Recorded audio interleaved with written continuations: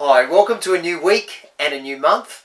After such a tragic loss yesterday, I just needed to support the Knights today with bringing back my, my Knights clock.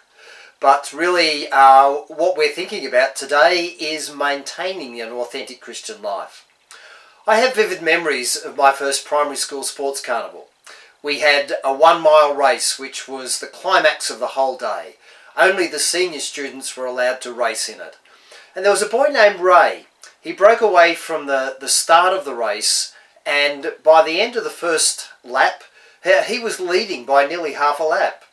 And he was making ground on the others. At the halfway point, he was three quarters of a lap in front, but beginning to slow a little. And in the final lap, he struggled terribly. He was overtaken, and he just couldn't rally enough stamina to fight off the challenge. As a few runners passed him by, uh, he clearly felt defeated, and by the end of the race, he was back in the field struggling to finish. He ran a, a really fast first half of the race, but of course, it's how you finish the race that counts. Living as an authentic Christian is very much like a running race. Everything we do will affect the way we finish the race.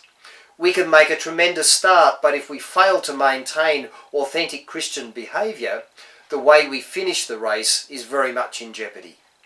This is the challenge of living the authentic Christian life. Every moment of every day we need to be consistently authentic in many areas of our lives.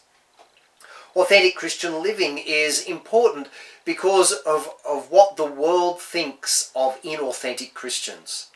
Paul was very concerned in case people thought that he was not authentic in his faith his great fear was that people would not accept the message of the gospel because of his actions. And he wrote in Romans 2, verse 24, uh, God's name is blasphemed among the Gentiles because of you. Uh, there are many people today who do not reject Jesus or his teaching, but they do reject what they see in Christians and the church. In effect, they're rejecting you and I.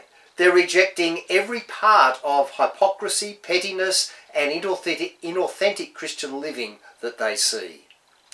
If Christianity is, is not working in our lives, if the world cannot see that we are better people as a result of our relationship with Jesus, of course they will not take Christianity seriously.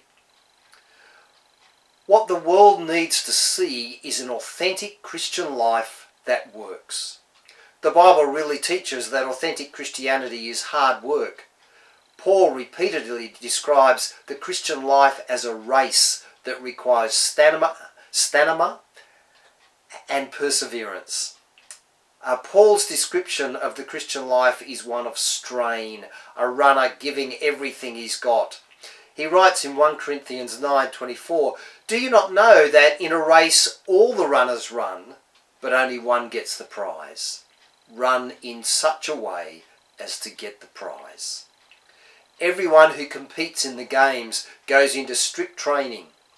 Therefore, do not run like a man running aimlessly.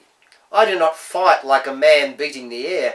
I beat my body and make it my slave so that after I have preached to others, I myself will not be disqualified from the race or the prize. Philippians 3:13 says, Forgetting what is behind and straining to what is ahead, I press on toward the goal to win the prize for which God has called me heavenward in Christ Jesus. So if we're going to live an authentic Christian life, we must consider ourselves to be in a race and push on. Well, one more day to think about authentic Christian living, and uh, I hope you can join me and uh, we'll think about that again tomorrow. Bye for now.